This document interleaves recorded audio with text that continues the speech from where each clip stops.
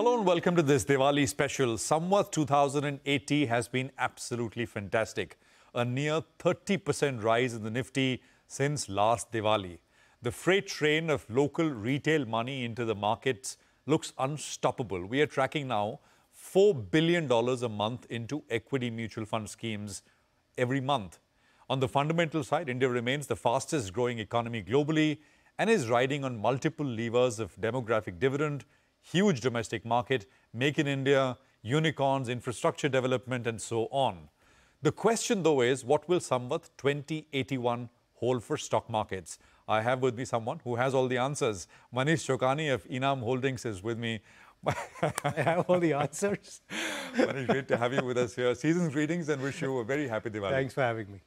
Uh, I, I, want to start with, uh, and we'll get to the answers later, Sure. but just, I mean, something which is going on, which is this FII is selling what we've seen. I just want to start with that. What's going on? I mean, it's been almost $8 billion a month to date. It's the fourth largest episode of outflow for, from true. foreigners Yeah, ever. A bit like 2008, except the base is very different. Much, much larger. We're, we're three, three and a half times of Absolutely. that time. Uh, and also the fact that there's a lot of domestic money, otherwise, this would have been a deeper correction. Yeah. But having said that, foreigners own 15, 16% of India. So it's about $800 billion at least Yeah. of stock which they have. Yeah. So they've sold 10 billion. It's like poor chaps have you know traded 1% of what they hold. We shouldn't be grudging them that. In the context, in the last six months alone, we've raised 30 billion dollars in our markets, Yeah. of which 15 has come from companies raising it for building new capacities or whatever. Right. But 15 has actually been promoter and private equity selling. Right. Encashing stock. encashing stock. Hmm. And this promoters include the foreigners from all over the world, like the strategics like GE and Whirlpool have sold from US, hmm. BAT and uh, Vodafone have sold from UK, hmm. Sumitomo has sold from Japan, Hyundai and soon Samsung will sell from Korea, Singtel has sold from Singapore, and indeed even our own Tata Sons has sold down some TCS, Sure. Anil Agarwal has sold down Vedanta. Hmm. So people realize there's a you know good value being provided by the market. Why not take it? When people sell and take money home, like it happened in the early 2000s when Warburg Pincus encashed Bharti, it opened the floodgates hmm. uh, to private equity in India. Hmm. So if this sort of selling can get absorbed, it creates confidence that this is actually a two-way street. I'm not trapped like I'm in China or in Africa, where I can come in but I can never leave. So it may not be a bad thing. And we did need the market to cool off. When will they stop leaving is the question, though. and why are they leaving? I mean, foreigners especially. What's, what's your sense? That's why I gave you the context is if you have 800 billion and you take 10 billion home, they're not leaving. But it's just that it's They're very concentrated. tactically readjusting. Right. And the fact of the matter is, But you- tactically readjusting because of what? Because India is expensive? It is or- super expensive. I mean, no one's denied that. I, I think if we did not have this 50 billion of inflows from domestics, Hmm. I don't think anybody was arguing this is a cheap value market where you should go in and take fresh positions. Right. Everyone's happily riding the list, lifting tide, Hmm. but earnings are slowing down. You've got the stimulus happening in China. Hmm. You've got, hopefully, now the US having a second leg of growth. Indeed, if the markets believe that Trump comes back and you get tax cuts and you get tariffs and US prosperity will come back, Hmm. uh, you have a $62 trillion market cap sitting there, Hmm. on which if you make 10%, you still make $6 trillion. Hmm. Uh, as opposed to even if you make 25% on the Indian 5 trillion, Hmm. uh, it, it gives you an extra trillion. So percentage gains and absolute gains play in people's minds. I'm going to come to the US presidential elections in Sure. just a bit, but this consumer slowdown bit, right? So one is valuations. That is the only bit, right? I mean, there's no other, is- there's not, nothing Look, else. Look, India, let, let's think about it. That we came post COVID hmm. from a rebound hmm. perspective, that hmm. the big themes we talked about, consumer discretionary, has played out.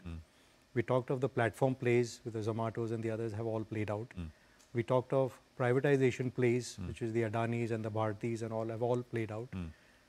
You wanted the financialization play to happen, which hmm. everyone assumed is only banks. Hmm. It played out in PSU Capital banks and the ICICI banks hmm. and all the others.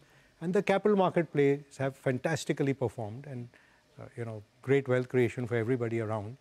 And then government came and stepped on the gas with PLI and the infrastructure spend. So it gave you the whole new fillip on PSUs, defense, road, rail.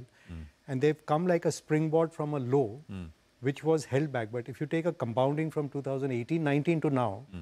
the earning compounding is pretty much what it should have been in hmm. the mid teens. But the price growth has And been. the cyclicals are the one which have come back, which also remember the last time they had their day in the sun was 2008 bull market. Hmm. So all the capital goods, Industrials defense, industrials, real estate, they went nowhere from 2008 to 2021. So don't deny them their place in the sun. Let them enjoy a few years.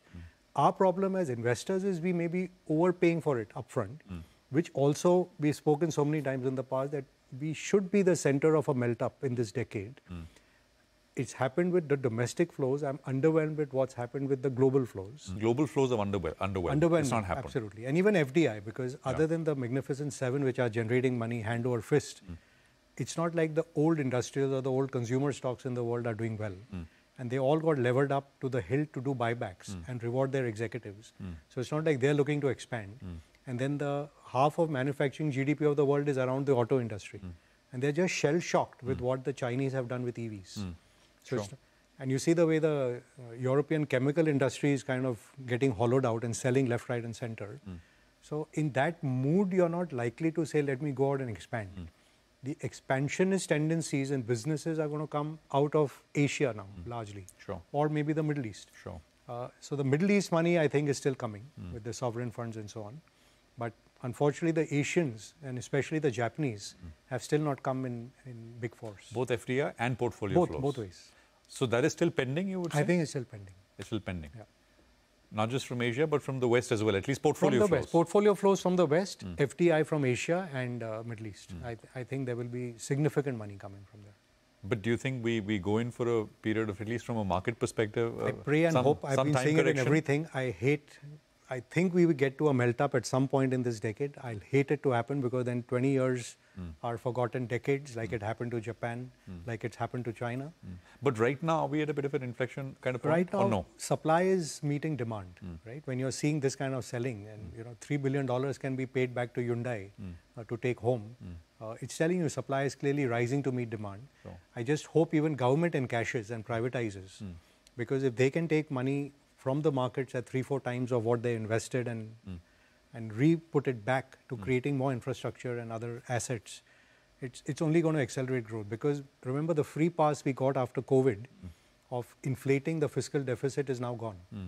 Sure. And that gave us the rise of infrastructure, defense, rail spend, which as you have to dial it back now for welfareism, Sure. which is the need of the electoral hour now. Sure. Uh, you're going to get a shock on that side that the capex suddenly levers are pulled back. Hmm. Uh, and now the worry is that with the K-shaped recovery, the top end has gone and bought their bigger homes and their bigger cars and their holidays.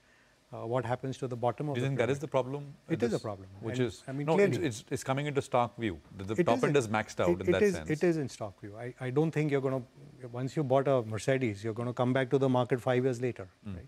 Uh, once you bought a larger home, you're coming back to the market 20 years later. And the pool of those top end homes in India is still very tiny. Hmm. Like I call it Australia, Philippines, and Africa. Oh. The Australians are Hmm. kind of happy and done. The Filipinos uh, in the, the middle 100 million of India are, I guess, too busy making money in the market right now, whether through F&O or SME and so on. Uh, but that delayed gratification, but see, the wealth creation has been so large that 85% of this $5.5 trillion is Indian wealth. And not only on that front, on real estate, values are up. Hmm. Real estate value easily would be 6, 7 trillion in India. Hmm. Gold value is easily $2 trillion in India. So you hmm. add all this together, bank deposits are probably a couple of trillion, if not more. So the domestic wealth creation has been large. So it's not like consumption will fall off a cliff. But the rate of change which one saw, that spring which came after COVID, uh, I think and which lasted, la- It I mean, all, lasted. all till now. I mean, it's lasted. And I mean, when you see like someone creating like Trent did the value retail segment and they opened up with Zudio and others, hmm. and others have followed, that space, which is the Filipino space, I hmm. call, has just expanded dramatically. Hmm. Or when Zomato tells you I can deliver you something at home for a couple of hundred bucks, uh, it just expands the whole market. But it's not indefinite, and that's what I find in India that we get excited when you know you get these inflows, and the mutual fund portfolios go up. But at certain point you hit a stall speed because you've gone through the Australians and you've gone to the topper end of the Filipinos, and you can't keep drawing a straight line on an Excel sheet and say this will continue forever. So the asset allocation mix in favor of financials is for sure, But this rate of consumption growth uh, is, is, is not, uh, I think, so easy. So then maybe we are in for a bit of a earnings slowdown, right? We are, Over the clearly. No one's been denying that. I, I don't think anyone in the market. But a cyclical kind of uh, slowdown Yeah, which yeah, lasts yeah. how long? A year? Uh, I mean, So you need a second wave of impulses to come out. And like I said, the first impulse wave has come. The second impulse wave, normally you get a either a catalyst by way of an important industry or an important commodity going up, which probably will happen with precious metals, gold, silver, and all. And there's a lot of it in India. Hmm. That gives you another wealth effect and maybe another booster over there. Hmm.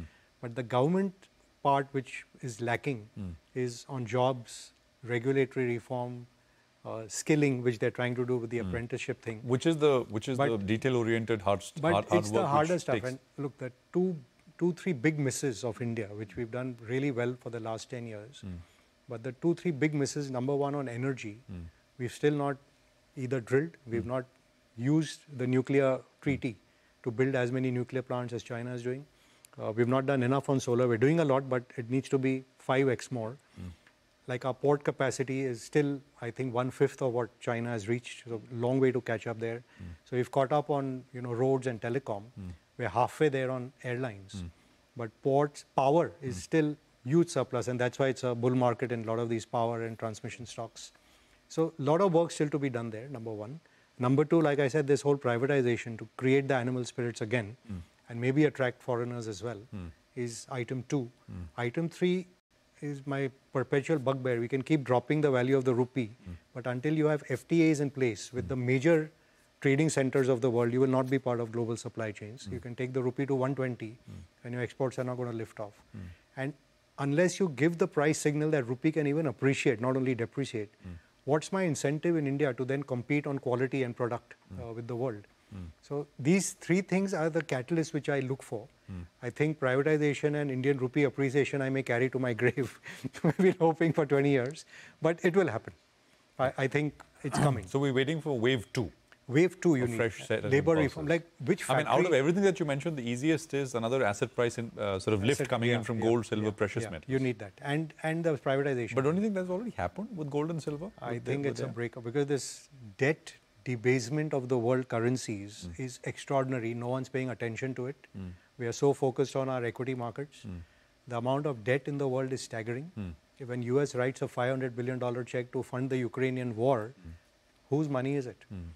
Our entire reserves are created at the stroke of a pen by America in a few months. or keyboard. What are we doing? So, Why so are we holding this? let, us talk about the US, right? So, uh, who's who's so? Uh, by the way, on uh, debt and uh, deficits, there was a report recently which said that Trump, if he is elected, over the next decade, will add seven and a half trillion dollars. They, in, they, uh, any debt. politician anywhere in the world is going to add on the other deficits. side, uh, you know, Kamala Harris will add three and a half trillion dollars. So it's, I mean, so Trump is great for equity markets, expansionary, uh, but bad for bond markets. But that's a general kind of broad thinking. Who's better for emerging markets in India, in your opinion? See, uh, again, I'm not an expert, so since it's Diwali, we can Hmm. But shoot we are the here, so bit. it's like, you yeah, know- true.